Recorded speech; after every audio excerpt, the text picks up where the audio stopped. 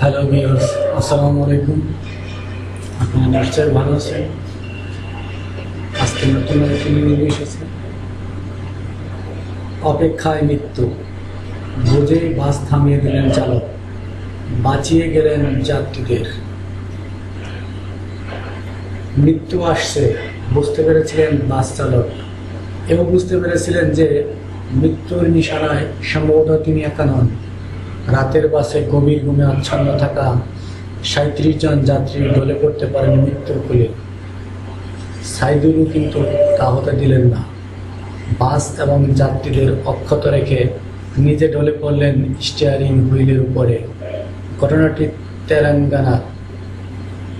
আজ ভোর রাতের এই ঘটনার পর ঘুর কাটাতে পারছেন না বাসটির অনেক যাত্রী।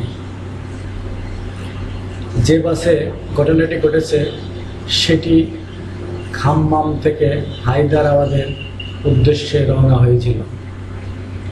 নলগোন্ডা জেলার নারিকেলের কাছে পৌঁছে মৃত্যুর হাতছানি অনুভব করেন চালক ছাইদুল রাত তখন তিনটি। যাত্রীরা সকলেই ঘুমোচ্ছিলেন।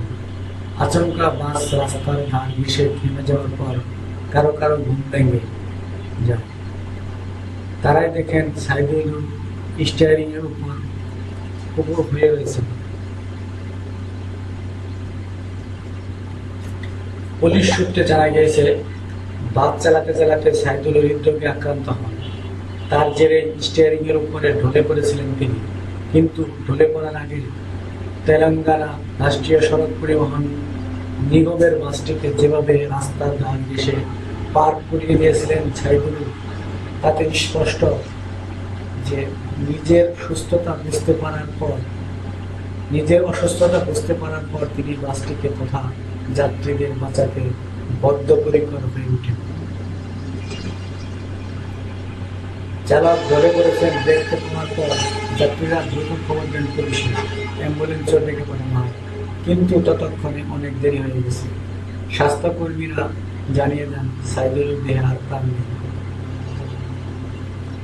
বছর পঁয়তাল্লিশের সাইদুল তেলেঙ্গানার সরকারি পরিবহন সংস্থার খাম্বাং ডিপোতে নিযুক্ত ছিল।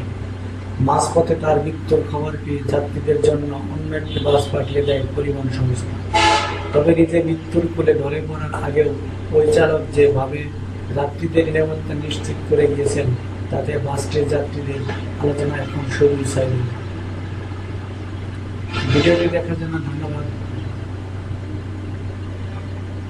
আমার এই ভিডিওটি যদি আপনাদের ভালো লাগে, তো অবশ্যই লাইক শেয়ার কমেন্ট করতে বলবেন না। আর পরবর্তীতে ভালো কিছু ভিডিও পাওয়ার জন্য আমার চ্যানেলটি অবশ্যই সাবস্ক্রাইব করে রাখবেন। আজকে আমাদের এখানে শেষ করছি। আল্লাহ হাফেজ।